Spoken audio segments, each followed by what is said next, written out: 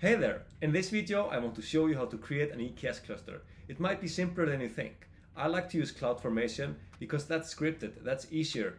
That's something that you can do again and again. You can create the cluster and you can delete it when you don't need it anymore. Be mindful about the costs. Creating a cluster is not for free, so make sure that you delete everything once you're done. So with that said, let's get started. Our cluster is gonna need a dedicated VPC, so let's start with creating that. Then we'll create the actual cluster, and then we'll verify everything is working with kubectl. AWS has nice documentation for how to set up a VPC. If you take a look here, you can see they have a YAML, they have a template. So if you download this template and open it up, this is gonna create for us a VPC with two private and two public subnets. So here are some parameters. We have the VPC block, we have the two public subnets, and we have the two private subnets. We don't need to know all these details, but at the bottom are some outputs. So we're gonna need this as inputs into our cluster. So I already copied all this to a separate file and changed the outputs a bit so I can reuse them in my other scripts. So let's take a look. I split up the public and private subnets and exported them separately. I am exporting here the control plane security group ID for the worker nodes.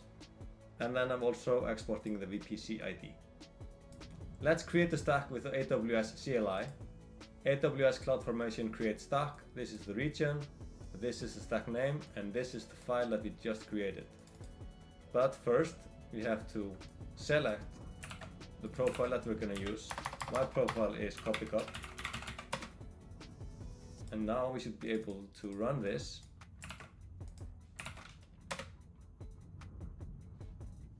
Okay, this looks good. And if we just take a look here, so the creation is in progress and we have some events going. The VPC is ready, let's look into it, let's look at the outputs. So here's the control plane, private subnets, public subnets, and the VPC ID. So we're gonna use these to create our cluster. AWS has a nice documentation for how to create the EKS cluster. You can either use the EKS CTL, which is a nice command line tool.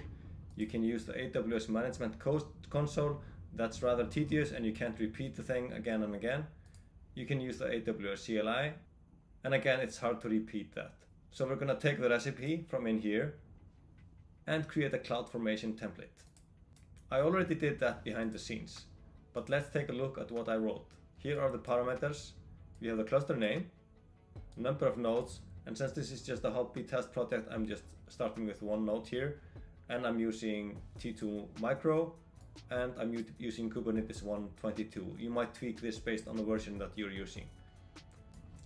We need an EKS role to allow the cluster policy, and we need a role for our nodes, and they need a bit more here. Here is the EKS cluster, so we have the name, version, the role that we defined above, and the VPC configuration. So we have the security groups and this is imported from what we exported in the VPC.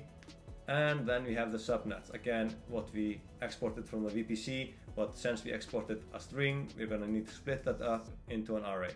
So we're using here the private subnet IDs. This might be the public, public subnet IDs if that's what you need.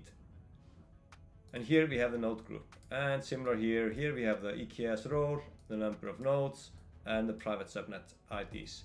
So that's it. We're going to use the AWS CLI to create the cluster. AWS CloudFormation create stack. Here is the region. Here is the name of the stack. We're creating some roles. And here's our file. So let's run this. Alright.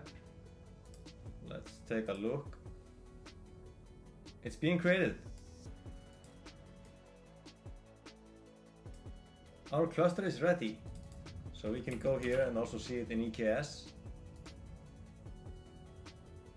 Here is the cluster. And let's look at the compute. It has one node. So let's open up our console and let's connect. So let's use the AWS CLI. So here we're updating our kube config to connect to this new cluster. All right, we're connected. So let's uh, kubectl get nodes.